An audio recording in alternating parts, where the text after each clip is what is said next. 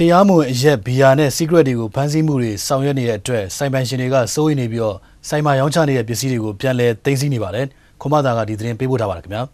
။ရန်ကုန်မြို့အတွင်းမှာဖွင့်လှစ်ရောင်းချနေတဲ့ဂုံတိုက်ကြီးတွေအပါအဝင်စတိုးဆိုင်အတော်များများဟာသူတို့ဆိုင်မှာတင်ရောင်းချနေတဲ့အရက်ဘီယာဝိုင်နဲ့စီးကရက်တွေကို Mobile Team အဖွဲ့ကဖမ်းဆီးမှုတွေလှုပ်ဆောင်နေတယ်လို့သတင်းတွေထွက်ပေါ်လာတဲ့အပေါ်မှာစိုးရိမ်မှုတွေရှိတယ်လို့ပြောပါတယ်။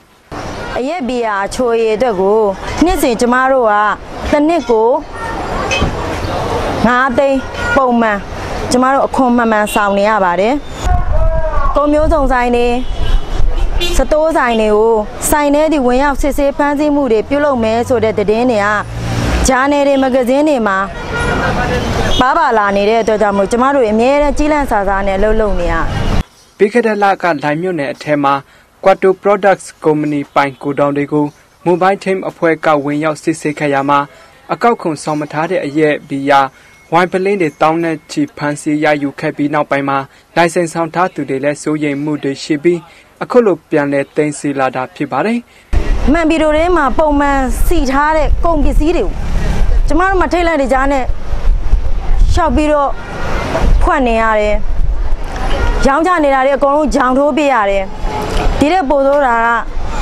ဝင်တော့ဒီကြီးတဲ့ဘီယာတို့ဘာလို့ဆိုရှင်ဘယ်နာတော့လွတ်ပြရမှန်းကိုမသိလောက်အောင်ကျမတို့ကကြောက်လန့်နေရ Mobile Team တာဝန်ရှိသူတွေကမောင်ခိုပစ္စည်းတွေဖန်ဆီးရမှာလက်ရှိဒုတိယအဆင့်အနေနဲ့ရေချောင်းကဝင်လာတာတွေကိုစစ်စစ်ဖန်ဆီးမှုတွေပြုလုပ်နေပြီးတတိယအဆင့်မှာလေစိတ်ဂုံတိုက်တွေနဲ့ဂိုတောင်တွေဒီကြားထဲမှာတိုင်ကြားလာရင်တော့ဝင်ရောက်ဖန်ဆီးမယ်လို့သတင်းထုတ်ပြန်ထားပါတယ်။လက်ရှိအချိန်အထိမြန်မာနိုင်ငံမှာနိုင်ငံခြားဖြစ်အရက် ဘီယာဝိုင်နဲ့စီကရက်တွေကိုတရားမဝင်တင်သွင်းခွင့်ပိတ်ပင်ထားပြီးဟိုတယ်နဲ့နိုင်ငံခြားသားတွေဈေးဝယ်တဲ့ကုန်တိုက်တချို့ကိုသာတီးတန့်လိုင်စင်နဲ့ကန့်သတ်တင်သွင်းခွင့်ပေးနေတာဖြစ်ပါတယ်ကျွန်တော်ခွန်ပါတာပါ